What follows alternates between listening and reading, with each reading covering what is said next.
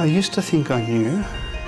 Um, now I'm not so sure what social inclusion means. Um, I like to think more in terms of uh, a more simple kind of philosophy around this, which is around welcome. Um, uh, replacing all the, the terminology with just we just want people to be welcome wherever they are. We want people to miss them when they're not there. Um, for me, it's a much more simple way to get your head around defining what social inclusion is because we can measure hours of community interaction, the number of non-disabled people you came into contact with. Uh, we can have a whole set of service quality indicators or, or measures of all kinds.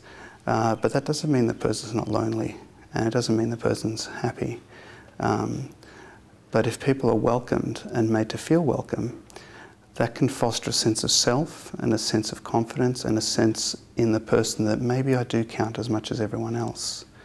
Um, and that's a valuable thing to, to shoot for in terms of trying to be genuinely helpful to people, I think.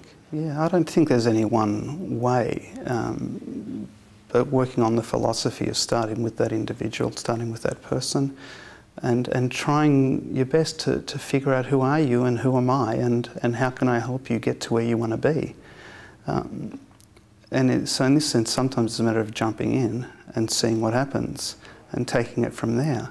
Working always being guided by the, the, the notion that what are, and looking for what are this what are this person's inherent talents and gifts and abilities and, and attributes and how can I help show these to someone else in the community and certainly as service workers in this field, it's very important to be able to see through people, see through a diagnosis, see through an attribute or a trait.